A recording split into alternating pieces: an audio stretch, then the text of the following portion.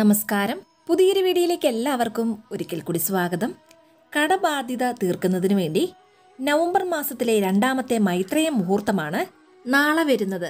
November പതിനേഴാം തീയതി വ്യാഴാഴ്ചയോട് ചേർന്നാണ് ഇത്തവണത്തെ മൈത്രേയ മുഹൂർത്തം വരുന്നത്. വൃശ്ചികം ഒന്നാം തീയതിയും വ്യാഴാഴ്ചയും ചേർന്ന് വരുന്നത് കൊണ്ട് തന്നെ ഇത്തവണത്തെ മൈത്രേയ മുഹൂർത്തത്തിന് ഇരട്ടി ഫലസിദ്ധിയാണുള്ളത്. മൈത്രേയ മുഹൂർത്തം എന്താണെന്ന് എല്ലാ വീഡിയോയിലും പറഞ്ഞിട്ടുള്ളതാണ്. എങ്കിലും അറിയാത്തവർക്ക് വേണ്ടി വളരെ ചുരുക്കത്തിൽ തന്നെ പറയാം. മൈത്രേയ മുഹൂർത്തം എന്ന് പറയുന്നത് നമ്മുടെ കടം അടയ്ക്കുവാനുള്ള അല്ലെങ്കിൽ കടം തീർക്കുവാനുള്ള ഏറ്റവും ഉത്തമമായ സമയമാണ്. അതുകൊണ്ട് മൈത്രേയ മുഹൂർത്തം വരുന്ന സമയത്ത് തന്നെ നിങ്ങൾ കടം വാങ്ങിയ തുകയിൽ നിന്നും കുറച്ച് തുക കടം വാങ്ങിയ വ്യക്തിക്ക് നേരിട്ട് കൊടുക്കുകയോ അല്ലെങ്കിൽ ഈ ഒരു സമയം തന്നെ ഓൺലൈനായി ട്രാൻസ്ഫർ ചെയ്തും കൊടുക്കാവുന്നതാണ്. ഇനി ഈ രണ്ടു രീതിയിലും കൊടുക്കാൻ സാധിച്ചില്ലെങ്കിൽ അതായത് ഒരാൾക്ക് ഒരു ലക്ഷം രൂപ നിങ്ങൾ കൊടുക്കാനുണ്ടെങ്കിൽ ആ വ്യക്തിക്ക് ആയിരം രൂപ കൊടുത്താൽ ചിലപ്പോൾ ആ പണം ആ വ്യക്തി വാങ്ങണമെന്നില്ല. കുറച്ച് വലിയ എമൗണ്ട് ആയിട്ട് തന്നാൽ മതിയെന്നായിരിക്കും അയാളുടെ മറുപടി. അങ്ങനെയുള്ളപ്പോൾ ഈ മൈത്രേയ മുഹൂർത്തം വരുന്ന സമയത്ത് തന്നെ ഒരു നിശ്ചിത തുക കവറിൽ സൂക്ഷിച്ചാൽ വളരെ വേഗത്തിൽ തന്നെ ആ കടം പൂർണമായും തീർന്നു കിട്ടുന്നതായിരിക്കും. ഈ നവംബർ മാസത്തിൽ രണ്ടു മൈത്രേയ മുഹൂർത്തങ്ങളാണുള്ളത്. അതിലാദ്യത്തെ മൈത്രേയ മുഹൂർത്തം നവംബർ ആറാം തീയതിയായിരുന്നു. ഇനി രണ്ടാമത്തെ മൈത്രേയ മുഹൂർത്തമാണ് നാളെ വരുന്നത്. വീടിന്റെ loan gold loan bank loan പലിശക്കെടുത്ത കടം അങ്ങനെ ഏതു രീതിയിലുള്ള കടമാണെങ്കിലും ശരി ആ കടം പൂർണമായും തീരാൻ ഈ മൈത്രേയ മുഹൂർത്തത്തിൽ ഈ ഒരു വഴിപാട് ചെയ്യുന്നത് ഉത്തമമാണ്. ഇനി ഈ ഒരു വഴിപാട് ചെയ്യാൻ ആവശ്യമുള്ള വസ്തുക്കൾ എന്തൊക്കെയാണെന്ന് നോക്കാം. ഒരു പ്ലെയിൻ കവർ ഒരു കഷ്ണം പച്ചക്കർപ്പൂരം ഒരു ബേലീഫ് അല്ലെങ്കിൽ ബിരിയാണി ഇല കൂടാതെ നിങ്ങളെ കൊണ്ട് സാധിക്കുന്ന ഒരു നിശ്ചിത തുക. അത് പത്ത് രൂപ ഇരുപത് രൂപ അൻപത് രൂപ നൂറ് രൂപ അഞ്ഞൂറ് രൂപ. അങ്ങനെ നിങ്ങളുടെ കയ്യിലുള്ള വശം പോലെ നിങ്ങൾക്ക് പണം എടുക്കാവുന്നതാണ്. ഒരു കടത്തിന് ഒരു കവർ ഒരു പച്ചക്കർപ്പൂരം ഒരു ഇല എന്നിങ്ങനെയാണ് എടുക്കേണ്ടത്. ഇനി ഒന്നിൽ കൂടുതൽ കടമുണ്ടെങ്കിൽ ഓരോ കടത്തിനും പ്രത്യേകം കവറും ഇലയും പച്ചക്കർപ്പൂരവും ഒരു നിശ്ചിത തുകയും എടുക്കേണ്ടതാണ്. നിങ്ങൾക്ക് ഏത് കടമാണ് തീരേണ്ടതെന്നാൽ ആ കടം തീരണമെന്ന് ബിരിയാണി ഇലയിൽ വ്യക്തമായി എഴുതുക. ഉദാഹരണത്തിന് ബാങ്ക് ലോൺ തീരണം എന്ന് ബേ ലീഫിൽ എഴുതേണ്ടതാണ്. അതിനുശേഷം കവറിൽ ആദ്യം തന്നെ ഒരു കഷ്ണം പച്ചക്കർപ്പൂരം വയ്ക്കുക പിന്നീട് എഴുതിയ ബിരിയാണി ഇല വയ്ക്കാവുന്നതാണ് അതിനുശേഷം നിങ്ങളുടെ കയ്യിലുള്ള ഒരു നിശ്ചിത തുകയും വെക്കുക.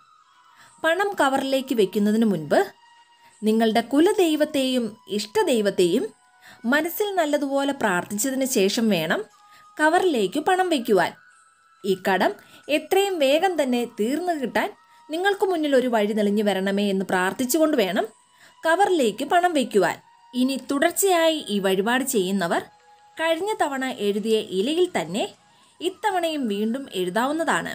ഇനി ഇലയുടെ രണ്ടു വശവും എഴുതി തീർന്നാൽ ആ ഇലയിൽ കുറച്ച് വെളിച്ചെണ്ണയോ നല്ലെണ്ണയോ പുരട്ടിയതിന് ശേഷം ആ ഇല കത്തിക്കാവുന്നതാണ്. കത്തിച്ചതിന് ശേഷം അതിന്റെ ചാരം കാറ്റിൽ പറത്ത് വിടുകയോ അല്ലെങ്കിൽ ഒഴുകുന്ന വെള്ളത്തിൽ ഒഴുക്കിക്കളയുകയോ ചെയ്യുക. ഇങ്ങനെ ചെയ്യുന്നതിലൂടെ പ്രപഞ്ച ശക്തിയോട് നിങ്ങളുടെ ആവശ്യം നിങ്ങൾ പറയുകയാണ് ചെയ്യുന്നത്. പിന്നീട് പുതിയ ഇലയിൽ വീണ്ടും എഴുതാവുന്നതാണ്. ഇനി പച്ചക്കർപ്പൂരം ഇല്ലെങ്കിൽ മൂന്ന് ഏലക്കായും വയ്ക്കാവുന്നതാണ് പണം വശ്യം ചെയ്യുന്ന വസ്തുവാണ് പച്ചക്കർപ്പൂരം അതുമാത്രമല്ല ലക്ഷ്മി സാന്നിധ്യം ഏറെയുള്ള ഒരു വസ്തു കൂടിയാണ് ഈ പച്ചക്കർപ്പൂരം ഈ പച്ചക്കർപ്പൂരം വെച്ച് നമ്മൾ ഈ വഴിപാട് ചെയ്യുന്നതിലൂടെ പണം വളരെ വേഗത്തിൽ തന്നെ നമ്മുടെ പക്കൽ വന്നു ചേരുന്നതാണ്. ഇനി നാളത്തെ മൈത്രേയ മുഹൂർത്തം ഏത് സമയത്താണെന്ന് നോക്കാം. നവംബർ പതിനേഴാം തീയതി വ്യാഴാഴ്ച ഉച്ച കഴിഞ്ഞ് മൂന്ന് നാൽപ്പത്തിരണ്ട് മുതൽ വൈകിട്ട് അഞ്ച് മുപ്പത് വരെയാണ് മൈത്രേയ മുഹൂർത്തം വരുന്നത്. ഈ സമയത്തിന്റെ മധ്യത്തിലുള്ള സമയം എന്നത് ഒരുപാട് പ്രാധാന്യമുള്ളതാണ്. അതുകൊണ്ട് ഈ മദ്യത്തിലുള്ള സമയത്ത് ഈ വഴിപാട് ചെയ്യുന്നത് അത്യുത്തമമാണ്. ഈ മൈത്രേയ മുഹൂർത്തത്തിന്റെ മദ്യത്തിലുള്ള സമയം എന്നത് നവംബർ പതിനേഴാം തീയതി വൈകിട്ട് ഏകദേശം നാല് മുപ്പതിനാണ്.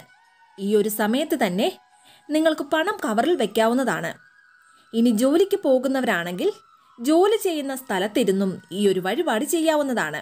വഴിപാടിന് ആവശ്യമുള്ള വസ്തുക്കൾ നിങ്ങൾ കയ്യിൽ കരുതിയാൽ മതി.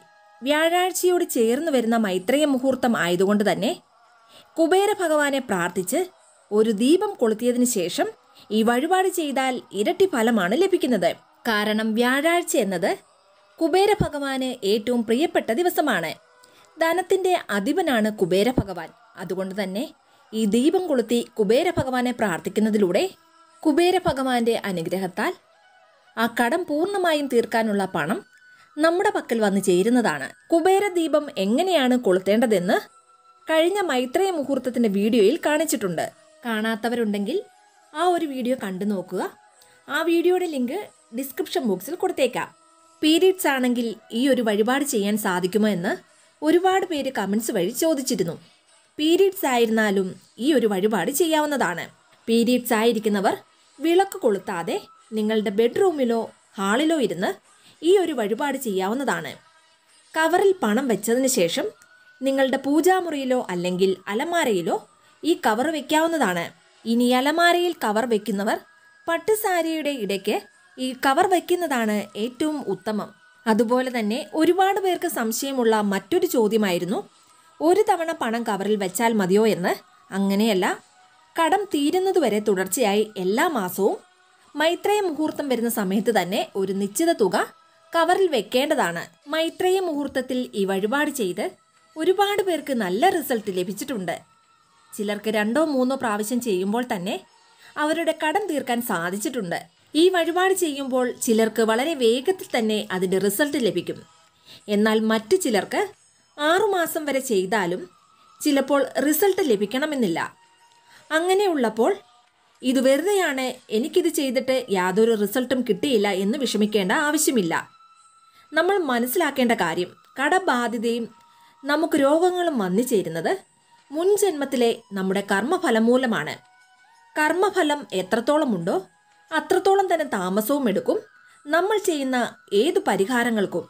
അതുകൊണ്ട് പൂർണമായ വിശ്വാസത്തോടെ ക്ഷമയോടുകൂടി ഏതു പരിഹാരവും അല്ലെങ്കിൽ ഏതു വഴിപാടും ചെയ്താൽ തീർച്ചയായും ഇന്നല്ലെങ്കിൽ നാളെ അതിന്റെ ഫലം നമുക്ക് ലഭിക്കുക തന്നെ ചെയ്യും. ഇനി കുറച്ചു പേർ കമൻസ് വഴി ചോദിച്ചിരുന്ന മറ്റൊരു ചോദ്യമാണ്. കടം വീടിയതിന് ശേഷം നമ്മൾ കവറിൽ വെക്കുന്ന പണം എന്ത് ചെയ്യണമെന്ന് നിങ്ങളുടെ കടം പൂർണമായും തീർക്കാൻ ബാക്കി തുകയോടൊപ്പം ഈ കവറിലെ പണവും ഉപയോഗിക്കാവുന്നതാണ്. അതല്ലെങ്കിൽ ഇതിലെ ഒരു പങ്ക് ക്ഷേത്രത്തിലെ കാണിക്ക വഞ്ചിയിൽ സമർപ്പിക്കുകയോ അല്ലെങ്കിൽ അന്നദാനത്തിന് കൊടുക്കുകയോ ചെയ്യാവുന്നതാണ്. ബാക്കി തുക നിങ്ങളുടെ ആവശ്യത്തിന് ഉപയോഗിക്കാവുന്നതാണ്. ഏതു പരിഹാരങ്ങളും അല്ലെങ്കിൽ വഴിപാടും ചെയ്യുമ്പോഴും പൂർണമായ വിശ്വാസമാണ് പ്രധാനം. അതുകൊണ്ട് തന്നെ ഈ വഴിപാട് ചെയ്യുന്നതിന് മുൻപായി നിങ്ങളുടെ കുലദൈവത്തെയും ഇഷ്ടദൈവത്തെയും മനസ്സറിഞ്ഞ് പ്രാർത്ഥിച്ചിട്ട് വേണം ഈ ഒരു വഴിപാട് ചെയ്യുവാൻ. തുടർച്ചയായി ഈ വഴിപാട് ചെയ്യുന്നതിലൂടെ എത്ര വലിയ കടമുണ്ടെങ്കിലും അതെല്ലാം വളരെ വേഗത്തിൽ തന്നെ തീർന്നു കിട്ടുന്നതാണ്. അതുകൊണ്ട് സംശയത്തിന്റെ ഒരു നിഴൽ പോലും മനസ്സിൽ വെക്കാതെ വേണം ഈ ഒരു വഴിപാട് ചെയ്യുവാൻ. തീർച്ചയായും നല്ല റിസൾട്ട് നിങ്ങൾക്ക് ലഭിക്കുന്നതാണ്. എല്ലാവർക്കും മൈത്രേയ മുഹൂർത്തത്തിൽ ഈ വഴിപാട് ചെയ്യാൻ സാധിക്കട്ടെ എന്നും എല്ലാവരുടെയും കടങ്ങൾ വളരെ വേഗത്തിൽ തന്നെ തീർന്നു കിട്ടട്ടെ എന്നും ജഗദീശ്വരനോട് പ്രാർത്ഥിക്കുന്നു. വീഡിയോ ഇഷ്ടമായാൽ ലൈക്ക് ചെയ്യാനും മറ്റുള്ളവരിലേക്ക് ഈ വീഡിയോ ഷെയർ ചെയ്ത് കൊടുക്കാനും മറക്കരുത്. ഇതുപോലെയുള്ള വീഡിയോസിനായിട്ട് ചാനൽ ഒന്ന് സബ്സ്ക്രൈബ് ചെയ്യാനും മറന്നു പോകരുത് വീണ്ടും നല്ലൊരു വീഡിയോ ആയിട്ട് വരുന്നിടം വരെ നന്ദി നമസ്കാരം.